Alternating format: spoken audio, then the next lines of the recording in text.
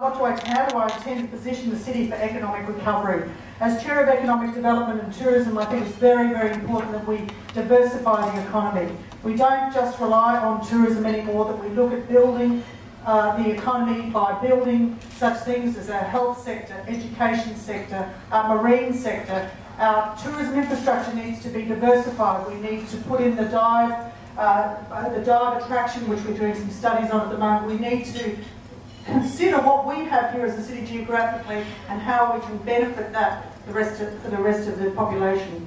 My vision is to make this city the most livable city in the world. So in five to ten years' time, I want us to get that award. No other uh, city in Australia of this size has ever been named the most livable city. As you know, Melbourne has got that. But this city can do it. This city can do it by creating jobs, by creating an opportunity for everybody to, uh, to enjoy their, their, their lives here.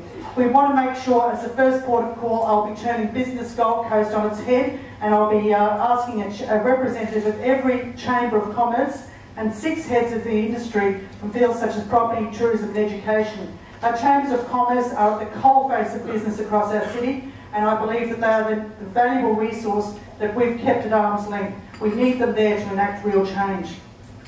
As Mayor, I want to take an extensive review of all council charges and fees that businesses incur during establishment and on an ongoing basis. We need to start looking at incentives rather than disincentives.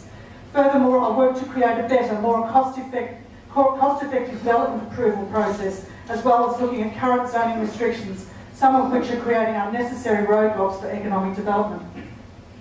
To help businesses go about their day-to-day -day operations, more easily and efficiently, I proposed having a direct connection to the high-speed underwater data cable that runs from Guam and Sydney. This cable, which allows information to be delivered from around the world, could help attract more IT businesses to the Gold Coast, helping us to create our own Silicon Valley, which I'd like to see in the north of the city.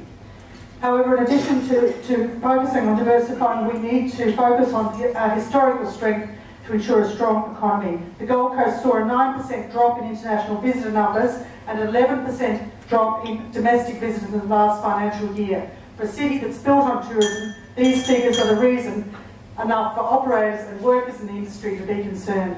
I believe we can diversify our tourism. We need to grow our business and convention market. We need to attract more Chinese visitors as a, opposed to what the chairman said. I think it's important that we get these wealthy Chinese investors to the city interested in pouring money into our property and businesses. And I believe we need, need to look seriously at fostering opportunities like this in the future. So uh, I don't know if that was my three minutes up, is it? That's uh, I'm sorry about that. I hate rushing through these things, but it's very important that you know that I do have a vision, and please look it up on my website, www.susiedouglas.com.au. Thank you.